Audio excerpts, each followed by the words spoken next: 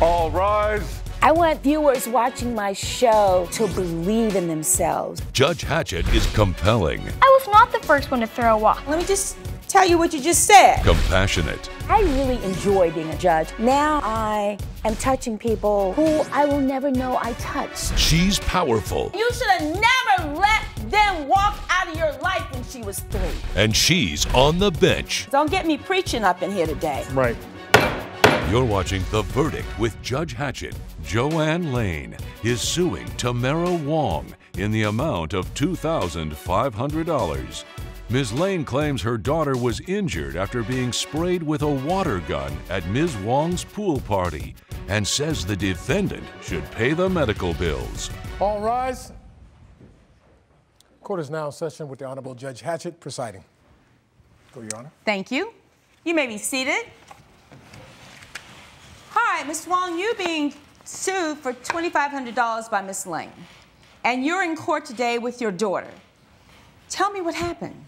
I'm very upset right now, so excuse me. But I'm very upset. My daughter was at Miss Wong's home for an annual party, and my daughter came home with, and this is my daughter Kelly, and she came home with her ear drum damaged. And I'm suing her for the medical bills that we have. So, why was your daughter at Ms. Wong's house? Her daughter and my daughter go to the same school. All right. And, Ms. so you were invited to the pool party. And so, Ms. Wong, you hosted this party Yes, Your at your house. Yes, Your Honor. And Kelly was there. Yes, she was. So, what do you know about the situation? What happened? well, Your Honor, this is something that um, happens every year. We've got our children as being friends for many years, and she was invited to this party with ground rules that were set. It's an annual party, pool party. There were rules. Everybody knew the rules. There are different games that were offered. You know, before I knew it. Uh, Kelly was missing from the pool party because she removed herself from the pool area. Again, there were you know different games, and one of the rules was the reason we had it in the pool was because we didn't want anybody injured running on the concrete. Okay. So, Kelly, let's back up. You went to the party. Yes. And were you comfortable in going to the party? Did you want to Um, go to the party? I wanted to go, but I was a little uncomfortable because the entire class was there. Why? Are you shy and just. Yeah, just a I little I can kind of tell that. Did you say that to your mom before she dropped you off? I did, but I still kind of wanted to go because my friends and stuff were there. Sounds like a fun thing. And so there were different games. And what happened with the Super Soaker game? I mean, did they have an option to get out of the pool or stay in the pool if I they wanted answer to play? that. I can answer that, Your Honor. Please. I made the ground rules for the children. I knew that you know they they're going to be children that wants to play with the water guns and ones that doesn't want to. One of the rules was we're going to do this for five minutes. Whoever gets into the pool understand that you're going to be participating. It is your own you know decision to enter the pool with the gun, and so they knew there were you know, there and there are also other adults that were there that day. That was that interestingly, because I was going to ask you that question. So, other adults. yes. And this wasn't a situation where everybody's just running wild. No. You had rules. We so, do. Kelly, when they were getting ready to do the water gun Mm-hmm. piece, did you have the choice to get out of the pool? I did, but I played, and I a couple of minutes later I set down my gun. I just went to the shallow end because they were all in the deep end, but I didn't know if they were going to come over and shoot me in the ear. So somebody came and shot Yes. water in your ear? Mhm, He put it right up to my ear and shot me, but I didn't know who it was because he swam away so quickly. And I got out, cried, and called my mom. So why didn't you tell Miss Wong so she could have round up all the kids and said, who shot Kelly? Because she was already mad at me because she'd scared me because I accidentally dropped one of her glass pieces. It was on accident because I'm really clumsy. And so she started screaming at me, and so I didn't really want to trouble her anymore. And she was also just kind of mad at me, so I didn't feel like she would do anything. Miss Wong, Okay, Your Honor. come on. Uh, What you're- happened? This is coming from a 14-year-old. Uh, I can defend myself, and that is, you know, when she broke the I glass. understand I that understand. she's 14, but Your Honor, I'm sorry, but she's still a child. and She still knows what's going on. But. I was Her also reactionary as to well, this. and I was has nothing to not yelling this. at the child. Uh, I understand that we both were kind of shocked, and safety safety was first. So I immediately removed myself and Kelly from the shattered glass and everybody else around it. So I understand, you know, it so was a little you know, listen, listen, listen. You know you're not supposed to have glass around the pool for just the reason you just said. She's feeling uncomfortable, and so you, after this happens and you are shot in the ear, what did you do? Um, I ran to the restroom and I called my mom to tell her what had happened. And then Miss Wong came and tried to like hit, knock on the door, but I told her just to go away because I was on the phone with my mom and I just I was ready to leave. Wow, this seems very unfortunate. Coming up on The Verdict with Judge Hatchett. She was supposed to be watching all the children. No, it was very well supervised. Like she was never actually paying attention to any of us kids. She always had her back turned or she was talking to the other adults. And later, He impersonated me wearing my signature clown getup Okay. and going around the city and scaring people. closed captioning provided by. If you'll be in the Los Angeles area and want to bring your case to court, call 1 888 552 6878. You're watching The Verdict with Judge Hatchett. The Verdict with Judge Hatchett is back with the case of Joanne Lane, who is suing Tamara Wong for medical expenses. So you take your child to have her ear checked. Yes, um, we went to the urgent care, and then the urgent care referred um, referred us to a specialist. And here I have the breakdown of the specialist and the Let me see that, please. Thank you. All right. Did you contact Ms. Wong to talk about this before you all ended up in my courtroom today? Yes, I did contact Ms. Wong, and she offered to pay $500. And if I didn't take the $500, she wasn't going to help with anything. So when she called Very you, what did you? What was your response? Uh, that was very unfair of her to have expected me to be responsible for the entire bill. You know, I, I didn't How's want to that cost. unfair when I'm she's sorry. the host? It was at her house, Mm-hmm. and she was supposed to be watching all the children. I think that's very fair. No, it was very well supervised, and I did you kept- offer she kept five having hundred her dollars. back turned. Like she was never actually paying attention to any of us kids. She always had her back turned or she was talking to the other adults. I, I do have an, a piece of evidence and exhibit. me As far see as I'm that. Yeah, concerned, the party was not what she's making it out to be. Again, Did you have the option to stay? Yes, I did, but I had to go take my son to a soccer practice, so I couldn't stay. Now, what am I looking at? You're looking at the pool party where it was supervised. Everybody was having a good time, and no one was injured. So, you know, for, I for. Mrs. Lane and Kelly to expect me to, you know, uh, be responsible for Yeah, the entire your, bill. Your backs is- was also turned, and everyone was on their cell phones. Again, that's no one her were paying attention to the children at all. Well, you Okay. weren't there. This Thank is from you. my daughter. okay, She was always in the kitchen and never actually paying attention to any of us, and all the other adults were on their phones. So, I mean, I understand that you were feeling uh, uneasy because you thought that Ms. Wong was mad at you. Yes. But if you had just said something immediately, we could have figured out what kid shot you in the ear. When she uh, we asked all of them, and none of them wanted to come forward and say that they had did it. No, but I mean, right then, somebody could have said, listen, But if her back wasn't turned and she was actually paying attention, question. she good would have point. saw. she would have saw who would did- Was happen there and who any did it. adult that saw this happen? In fairness, Timmy, I did check with No. Kelly, and she didn't want to share the injury with me. And so when I got the call from her mother, That was the uh, first you heard about the water first, being shot yes, in her ear? Yes, Your Honor. So Yes. you never told Miss Wong what happened when you came to pick up Kelly? No, I didn't. Why? Because we wanted to see how severe it was, because I didn't know if it was really that much of bad of a damage to her ear. And I was just ready to go. I was I was just mad because I had been shot, and she had already been yelling at me, and I was just ready to go home. I'm concerned, Ms. Wong, that no adult saw this happen. We're not talking about just a regular water gun. We're talking about a lot of pressure mm-hmm. and puts it to her ear. And no adult saw, Saw that? Because they wasn't watching. I, did I ask you? Your Honor, in fairness to me and the rest of the adults that were there, I did talk to them and also talked to the children, and none of that story matched what they're they're claiming today. So you're saying that this is all contrived, that, that these medical bills, what happened? I honestly think that in fairness to me and Mrs. Lane, that we should share the cost. And I offered $500. Oh, that's not sharing the cost. That's they're far from sharing. Oh, good idea. Let's share the cost. All right.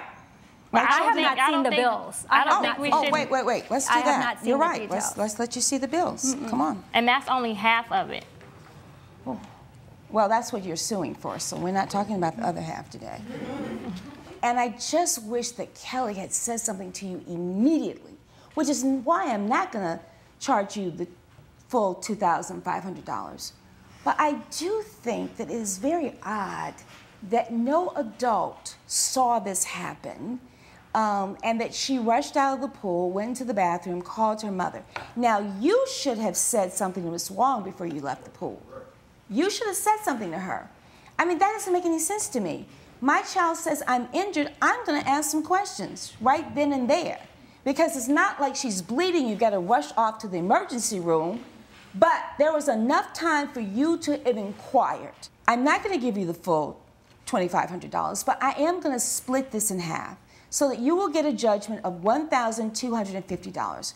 Kelly, if something ever happens to you in a situation, you got to find the closest adult and you've got to tell them immediately what happens so we can at least get to the bottom of this.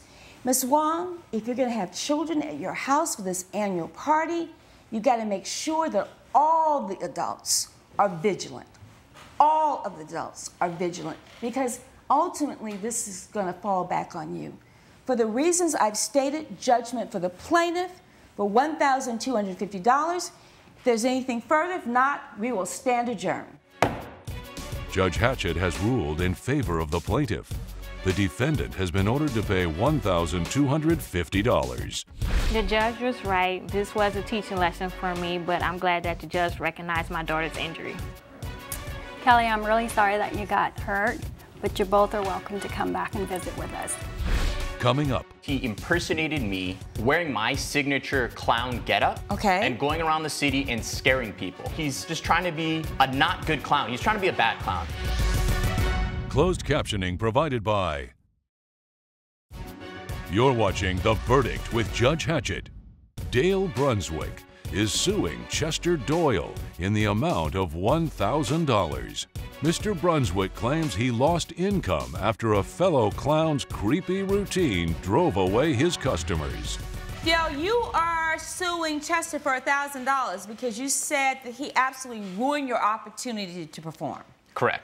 So you all are both clowns, I understand. Correct. And you do that professionally? Yes. Yes. Yes? Yes. All right, so Dale, tell me what happened.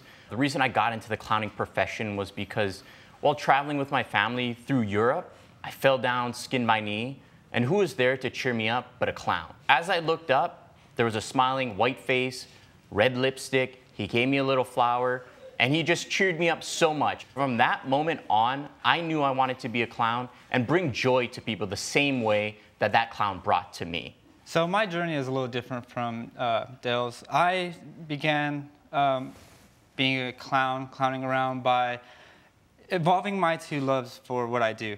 I love horror, I love reading horror novels. I decided to incorporate horror or evil clowning by scaring people wearing a clown costume. Why is it necessary for you to for you to sue Chester? He impersonated me oh. by wearing my signature clown getup.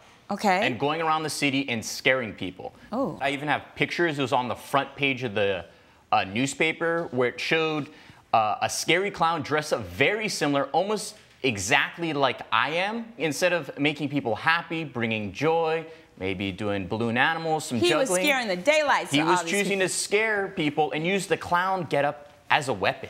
Coming up. He's drumming up all this scary imagery when it comes to clowns. The picture on the far right, he's just trying to be a not good clown. He's trying to be a bad clown, obviously. Oh my.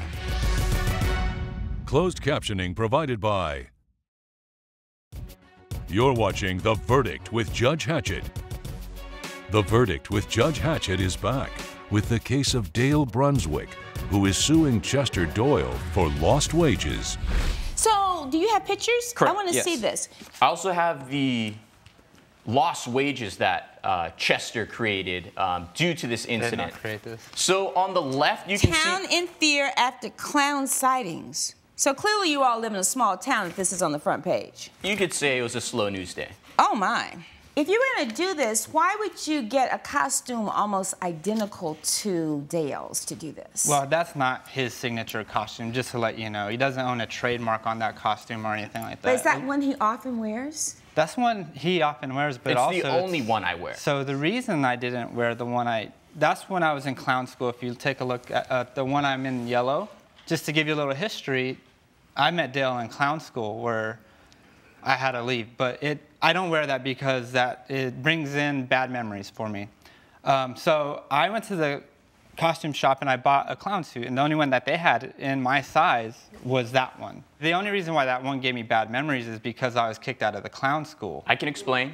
What happened? Why did he get kicked out? I'm a director of a clown camp. I teach classes. Uh, I do workshops. Instead of being that happy clown that we were teaching in class, he was choosing to smear his makeup and scare people, and ultimately that got him removed from class, and what I believe is causing him to seek revenge on me now. So I'm suing him for the lost wages and publicity that I'm losing because I was no longer allowed to perform at the state fair. He's drumming up all this scary imagery when it comes to clowns. You can see the picture on the far right. He's, you know, just trying to be a not good clown. He's trying to be a bad clown, obviously. But if you have had a reputation in this community and you've been a good clown, how is his craziness all over town going to make you not have this performance at the county fair? I don't understand that. Well, I think what's happening is he's creating an issue for clowns in general. So I'm just suing him to make me whole and to get the revenue that he took from me, obviously in revenge. Judge Hatchett's verdict when we return. Promotional consideration provided by. You're watching The Verdict with Judge Hatchett. Chester, maybe you are in the wrong business. Maybe you should be in the horror business. I think it is not credible that you told me you couldn't find any other clown costume except the one identical to his, and that you dressed up in the same costume that he has used, and you go out and scare people.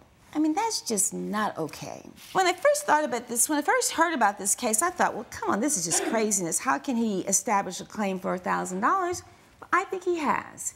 And so, because I think you have been injured in this situation, and because I think he's acted irresponsibly, I'm going to enter judgment for the plaintiff in the amount of $1,000. If there's nothing further, we will stand adjourned. Judge Hatchett has ruled in favor of the plaintiff. The defendant has been ordered to pay $1,000. I hope you learned that clowning is more about joy than fear. Maybe I'm better suited for the horror industry.